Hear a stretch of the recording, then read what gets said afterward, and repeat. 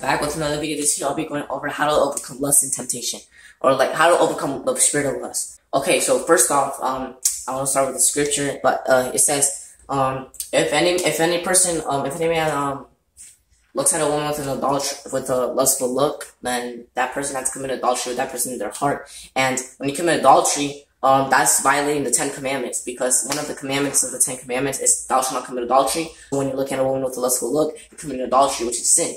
And um, and and the more you're sinning, and when you're sinning and you're without repentance, then that'll lead you to hell. Um, committing adultery, adult, being an adulterer is gonna lead you to hell. Oh, but but look, you can repent. But if you don't repent and you don't change your ways, then you'll go to hell. So um, that's this video. I'll be going over how to overcome lust spirit of lust. Number one, guard your eyes. So when you're guarding your eyes, don't look at like don't put your eyes on a woman that's that that that that might lead you to relapse. You can go on. You know how like I feel like when you go on Instagram, there's just like more chances of you relapsing because.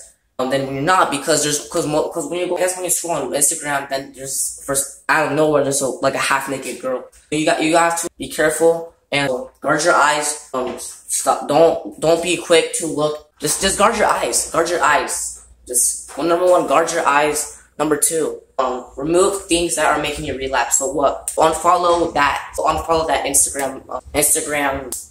Unfollow OnlyFans. Unfollow Instagram people that are just showing off their body for showing off their body, like half naked or maybe naked. If TikTok, Instagram, and then when the, if God, if God delivers you from the spirit of lust, like you're striving to, striving for the kingdom, trying to break this, um, trying to break this, trying to break the, trying to break the demonic stronghold, trying to break the, trying to break it, trying to break the spirit of lust, trying to be free. When God removes those chains, you can go on Instagram, you can go on TikTok back, but don't, but like, like certain, maybe certain parts of the app leads you to relapse, like pushing lust because they put, you gotta be careful. Um, so don't be so quick to like look at the pictures and stuff like that, stuff like that. Number three is to have a personal relationship with Jesus Christ and the, and the Father. So when you have a personal relationship, you after God delivers you from it, now you can give thanks. You can give thanks. But you wouldn't want. Let's say you have a child that's getting good grades, you give them a gift, but that but the child is looking at you like, what is this? What is this? Like they be ungrateful. They be ungrateful, and you're not gonna want to give that child another. You don't want, you don't want to give that child another gift because of how ungrateful he acted. So that's the same with God. If God delivers you from the spirit of lust, give him thanks. Give him thanks because there's most modern men can't even last a week, can't even last a month on semen retention. So let, let's say you're actually on semen retention, um, you're lasting six to 12, six months, 12 months, year, two years. And when you fall short, you won't lose the benefits. And when you fall short, um, just man falleth seven times and rise up again, but the wicked shall fall into mischief. So you you will rise up again. You will rise up again. Repent and just you will rise up again. And have a personal relationship with Jesus Christ, the Son, and the Father. And uh, stop putting yourself in um, situations that's going to lead you to lust, lead you to fornicate, lead you to, let's say, um, you go to the club.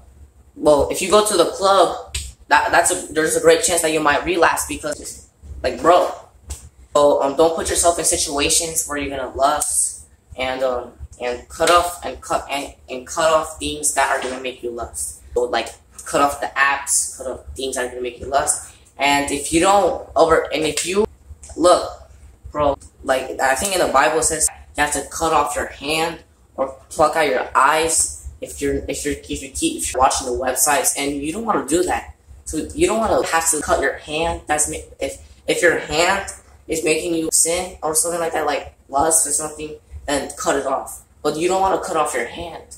That's why you guys gotta be, be, be for real on this. Like you want to get free from this from this demon that that is that's using you. Because the demon, a demon was using me back then. Because it's not you that wants to relapse. It's a demon using you. It's a demon. So I asked just God just to get that. I asked God to get that demon out of me and then after I said that a couple days later, a couple weeks later, he, he did it. He got that demon out of me. I don't have the demon of lust. And um, you guys can also have not the demon of lust.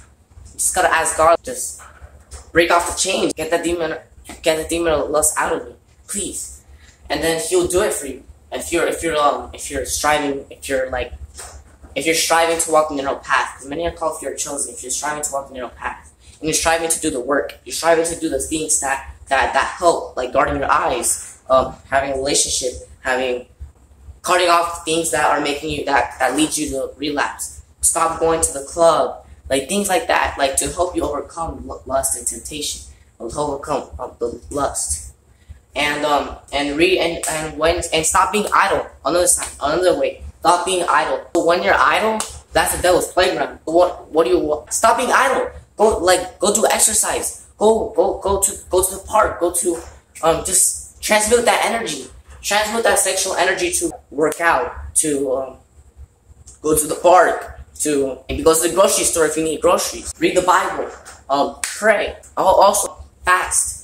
Fasting, fasting can help. Fasting can help. Fasting can help. Um, and another thing, the Bible says that uh, these these spirits cannot get out unless it's prayer and fasting. It's so fasting is a nice option too. Stop, fasting is not a salvation requirement, but it's it, it can help. Can help. Um, but yeah, those are those are um, ways that you can overcome lust. Thank you guys for watching, and um, I'll see you guys next time. Oh yeah, guard your eyes. I'll see you guys next time.